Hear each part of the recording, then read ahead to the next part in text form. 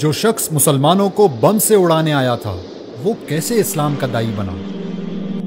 America की रियासत Indiana के शहर मनसी में पैदा होने वाला रिचर्ड मैकेनी रैम्बो की फ़िल्में देखते हुए बड़ा हुआ और उसी की तरह सख्त जान और ताकतवर बनकर दुश्मनों को मारना चाहता था।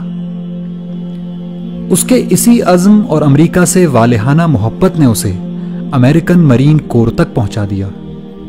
रिचर्ड एक मज़बूत जिस्म का मालिक था और पेशावराना अस्करी महारत की वजह से तरक्की करते हुए सार्जेंट बन गया।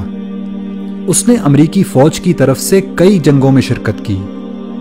रिचर्ड उस इंतहाई खसूसी छापा बरदार ग्रोह का भी हिस्सा था, जिसे बोस्निया के कातिल मिलोसोविच को ज़िंदा पकड़ने के लिए भेजा गया था। तमाम बड़ी बड़ी जंगों में शिरकत करने की वजह से उसमें सख्त दिली और बिलखसूस मुसलमानों से शदीद नफरत पैदा हो चुकी थी। ये नफरत इतनी बड़ी कि एक दफ़ा जूते की दुकान में उसने दो बुरका पोश खातन को देखा तो उनकी गर्दनें तोड़ने का इरादा कर लिया था।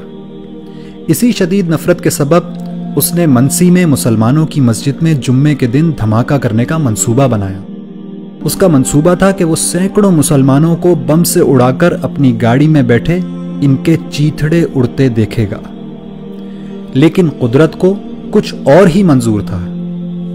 मस्जिद को बम से उड़ाने से पहले उसने आखिरी दफ़ा इस्लाम और मुसलमानों को जानने का फैसला किया।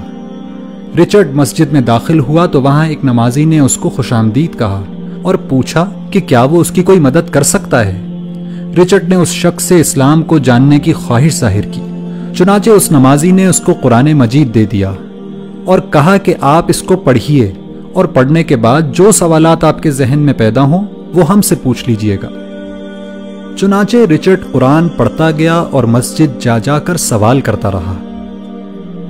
यहाँ तक कि दो महीने बाद दुनिया ने कुरान का ये मुआवजा भी देखा कि वही शख्स जो कल मस्जिद को बम से उड़ाने की तैयारी कर रहा था, आज वहीं कलमय शहादत पढ़ रहा है।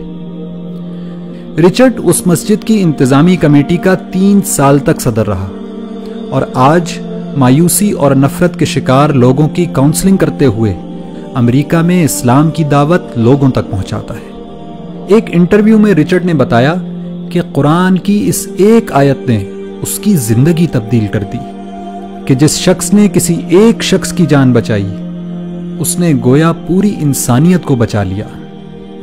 अगर कुरान की फकत एक आयत मुसलमानों के कट्टर दुश्मन की ज़िंदगी तब्दील कर सकती है तो पूरा कुरान क्या कुछ इनकलाब बर्पा कर सकता है? लेकिन फिर भी हमारी जिंदगियाँ क्यों तब्दील नहीं हो रही? इसकी वजह सिर्फ़ एक है कि रिचर्ड ने कुरान को पढ़ा और समझा, लेकिन हम कुरान को सिर्फ़ पढ़ते हैं, समझते नहीं।